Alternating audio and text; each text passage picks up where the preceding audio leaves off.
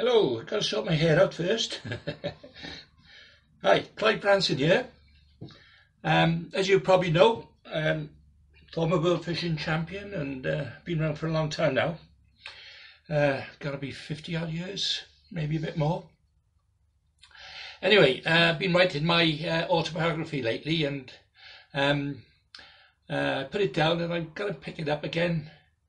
Uh, even even for me, it's uh, it's interesting going back over old methods and techniques. And uh, to be fair, I think uh, a lot of these methods and techniques do tend to come back into fashion uh, sooner or later. You know, catching more fish. Anyway, uh, the reason I put this vlog together is that it's going to be um, a series of vlogs that I'm. Um, uh, I've been asked by a few anglers. You know, can I uh, show them some methods and techniques that I use or I've used over the years. So that's what I'll be doing. But I'm going to combine it with my uh, uh, float manufacturing uh, um, as well.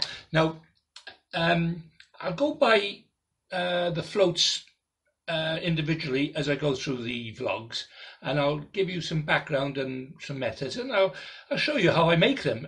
in fact, um, the first thing I'm going to show you today is my little machine. Um, cost me 100 quid, but I'll tell you what, it's worth it, worth its weight in gold because uh, you can shape any bodies with these, uh, balsa bodies, and that's, and that's why I make up uh, the floats. Um, I'll show you how it works. Quite, quite simple. Uh, you know, you, you put the uh, shape of the dowel in between it, you sandpaper it down to the shape you want. Um, anyway, I'll, I'll demonstrate this as I go through the vlogs. Oh, let's turn it off.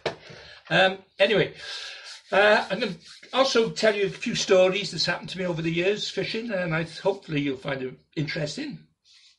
Um, what I'd like you to do is subscribe, give me a thumbs up, thumbs down, or whatever, and leave your comments because um, I'm going to try and make this as interactive as I can. Um, and of course, these vlogs will be going in between my fishing vlogs. Um, I will be going back to Thailand in, in, a couple of months, and when I go there, I'll be doing some fishing vlogs there as well. So, as I say, keep in touch and subscribe, and um, let's see how we get on anyway. Um, so, all the best now, and I'll speak to you shortly.